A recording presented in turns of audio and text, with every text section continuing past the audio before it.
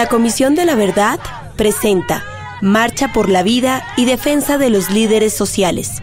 26 de julio, El Grito. Yo hoy grito y grito por no más, basta ya, respetemos la vida, no más asesinatos. ¿Por qué? ¿Por qué los asesinan? Solamente la verdad puede permitir el perdón, puede permitir la reparación.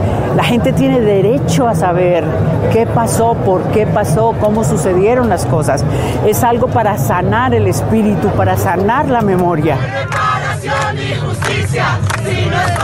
Nos debe unir profundamente todo el sufrimiento humano de Colombia, toda la tragedia que hemos vivido nos debe unir, sobre todo en este momento, la vida de los líderes y de las lideresas, la gente que en todas partes está defendiendo la tierra, está luchando por recuperar los derechos humanos, está buscando en todas las formas que podamos encontrar una democracia verdadera. ¿Por qué? ¿Por qué los asesinan?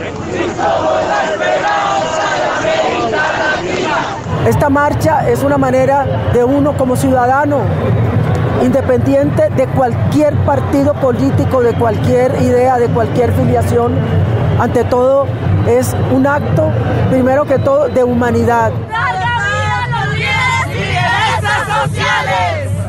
Una manera de elaborar el duelo es saber la verdad.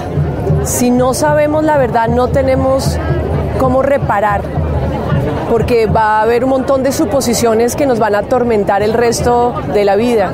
Aquí falta alguien, falta NN1, NN2. Que se sepa quiénes son los que están asesinando, porque es muy fácil generalizarlo todo, que, la, que, los paramilitares, que los, que los que no se acogieron al proceso de paz, que no sé qué. El hecho es que los están matando. Y si, no, y si los están matando a ellos, nos están matando a nosotros. La verdad es con los líderes. La verdad es con los líderes. Larga vida a los líderes y lideresas sociales.